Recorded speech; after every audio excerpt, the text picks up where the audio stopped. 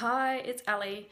Today I'm going to show you my home gym, just um, so you can see where I work out and what I've got, and it might give you a few ideas. So here we go. So this is the entrance. I have it in the bedroom where we have the baby gate. Open that up and come in. I've got a few mats, a yoga mat, a foam mat, skipping ropes, medicine ball,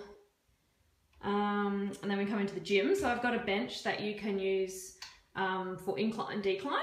Um, and it's also got an attachment that you can put your feet under. Foam roller, a fit ball, got my dumbbell rack. So my dumbbells start from four kilos and they go right up to 25 kilos. And yes, I do use the big ones sometimes.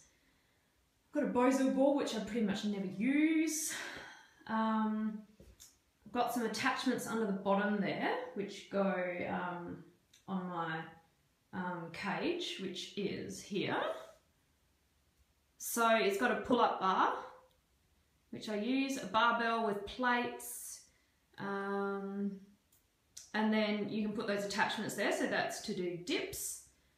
Um, coming around the other side, I've got a radio, which you must have, a little step, uh, I've got a belt there that I use when I'm doing dips and pull-ups to add some extra weight. Some extra bands. Oh, there's my toy box for my daughter.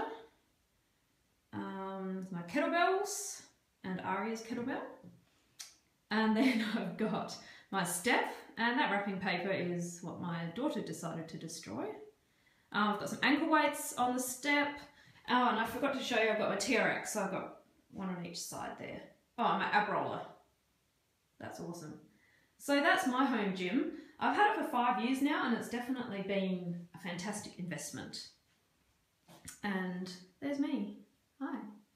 And I'm in my Ugg boots. I don't usually wear Ugg boots to work out, but I'm just wearing them today because it's cold. All right, well, until next time, see ya.